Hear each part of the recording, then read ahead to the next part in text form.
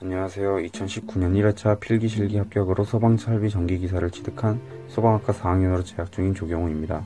저희과 사람들은 너도 나도 다 따는 자격증이라 준비해봤고 저 또한 취득하게 돼서 제 자신에게 떳떳할 수 있었던 것 같습니다.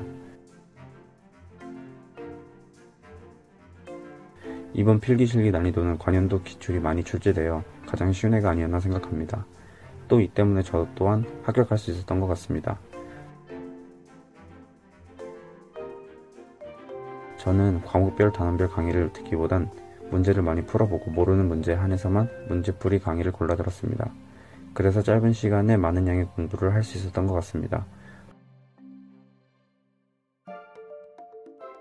문제풀이 강의를 들으면서 김상현 교수님께서 유사 문제도 많이 언급해 주셨습니다.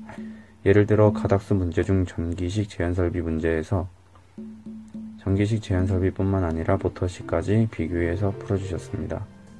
그리고 전기 기본 문제 중 전력을 구하는 문제풀이에서 전력은 전압 곱하기 전류라는 식뿐만 아니라 전압은 어떻게 구해졌는지 전류는 어떻게 구해졌는지까지 설명해 주셔서 다시 한번 대접할 수 있어 매우 좋았던 것 같습니다. 김상희 교수님 화면상으로도 교수님의 열정을 느낄 수 있었습니다. 항상 수험생과 함께 열심히 해주셔서 감사합니다.